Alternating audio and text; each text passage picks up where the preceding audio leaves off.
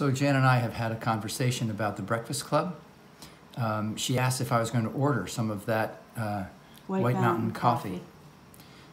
And, um, and I said no. And I said, why not? Well, I said because there's going to be coffee with every breakfast, and how do I know that the next kind of coffee w- won't even be better? Because who doesn't have coffee with breakfast? So you know there's going to be coffee with every one of the breakfasts. And I said, that's certainly not the case because there's probably going to be tea and maybe hot chocolate with it, with some of the breakfasts. Nobody, nobody drinks tea for breakfast.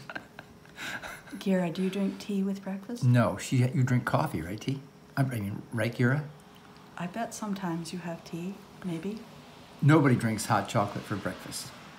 Anyway, They'd we like have to. we now have a bet on. They'd like to. They'd like to drink drink hot a chocolate with breakfast.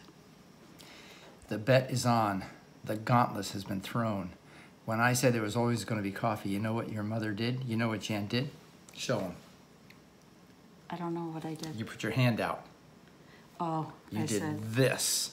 And she had an, a, def, a defiant look on her face. So we shall see. We shall see.